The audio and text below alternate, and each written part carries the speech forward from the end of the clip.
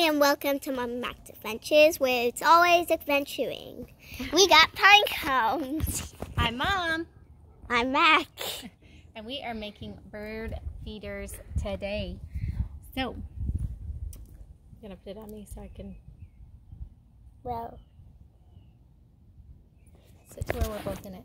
oh, you can turn it around. Oh, are you just gonna video me? Okay, so we went on a family walk. And what did we get? Pine cones. So we collected pine cones.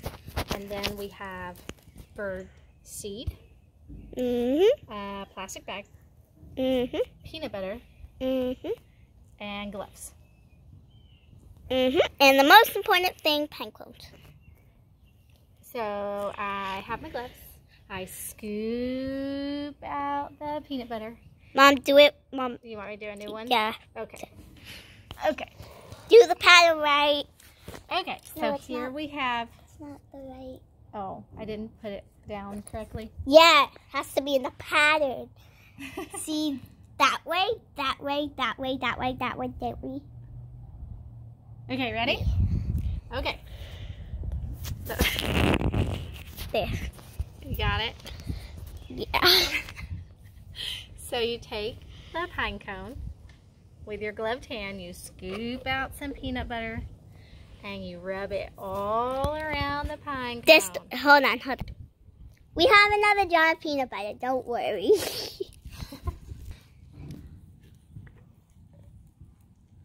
and carefully take lots of like ten scoops. enough to smooth it in around the pine cone. Are you getting the right stuff? Yeah. Are, are you are you being a good videographer? Maybe. Maybe. I do know. not know, Facebook friends, what McKenna um, is doing with the video camera. So surely it will be awesome. Her evil laugh.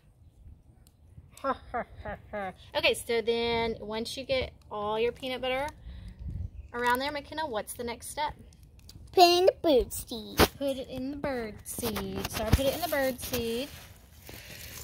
And then I just rotate the peanut butter filled covered um, pine cone in the bird seed. And then you eat it. I The birds eat The it. birds eat it. Um, so what we're going to do after we get all of the pine cones taken care of is we're going to wrap string around the tops and then we're going to hang them in the trees.